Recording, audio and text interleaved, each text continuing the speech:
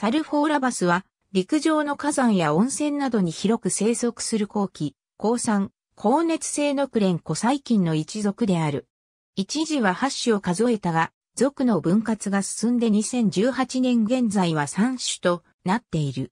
属名は、硫を好むこと、細胞表面に頻繁に突出部を形成することから、ラテン語で、硫黄丸、耳たぶ、波葉という意味になっている。イエローストーン国立公園高温、低 pH、硫黄に富む、高気環境に分布する。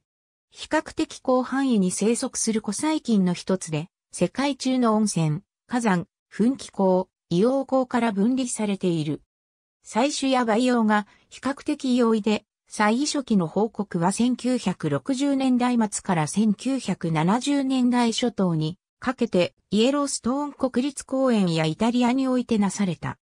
サーマプラズマと共に1977年のカール・ウーズによる古細菌界提唱以前から知られていた数少ない高熱性古細菌である。当初はペプチドグリカンを欠く珍しいタイプの細菌と報告された。球形に近い不定形、大きさは2マイクロメートルほど。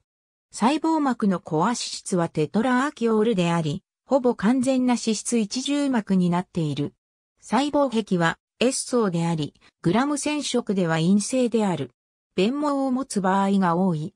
生育温度は50摂氏97度、生育 pH は1から6程度。私的増殖温度は、おおむね70摂氏85度、私的 pH は2から3の範囲にあるものが多い。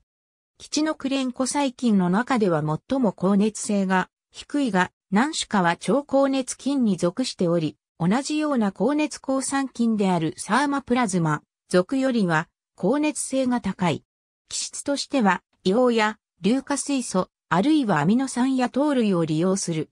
これらを酸化して独立、または従属栄養的に増殖することができる。高熱性古細菌としては、比較的扱いやすく、古細菌の DNA 複製、細胞分裂、耐熱タンパク質の研究によく使用される。硫化水素を酸化することができるため、この処理に使われることがある。単独の感情のゲノムを持ち、ゲノムサイズは2から 3mbp の範囲にある。クレンコ細菌としては比較的大きなサイズである。